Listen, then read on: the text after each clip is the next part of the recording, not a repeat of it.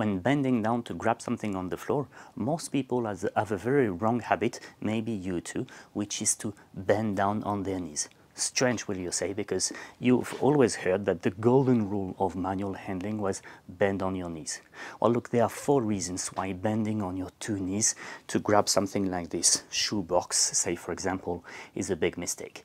Number one, when you bend your knees deeper than 90 degrees, there's massive pressure in the knee joint. And this pressure will be felt if you stay for too long in this close joint position, but also if you try to get up directly from this position.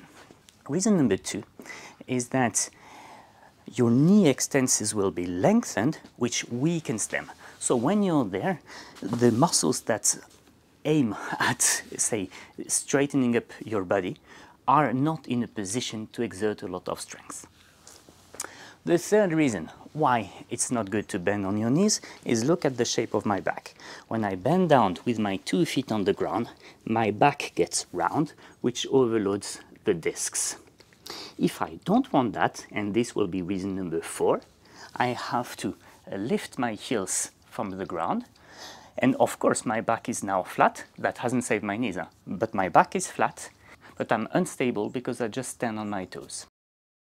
If I now want to bring something from the ground, which is mid-weight, say 5 kilos plus, the alternative is bring a foot backwards and you see that my knees are at 90 degrees, meaning not too much pressure in the knee joint and muscles at proper length. Of course, this knee is now uh, submitted to um, direct pressure from the ground. So this is okay for, say, a few seconds. If I now need to work for, say, 10 minutes or so, I should put a damping pad here under the kneecap.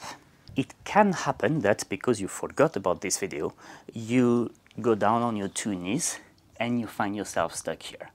Well, then now, what you should absolutely avoid is to get up like this on your two knees at the same time. What is the right alternative? The right alternative is put one knee on the ground, second foot there, and you get up from here. This is the straightforward alternative. The turning alternative is one knee on the ground, other foot in front, and now instead of going straight forward, I'm going to do a 90 degree turn in direction of my rear leg. When I do the 90 degree turn, the key is that my feet move at the same time as my shoulder. If there's an offset between the two, say the shoulders move quicker than the feet, there will be a twist in your back. Okay, so the idea is really at the same time. So to cut a long story short, don't bend down on your two knees and more than everything, don't get up on your two knees at the same time.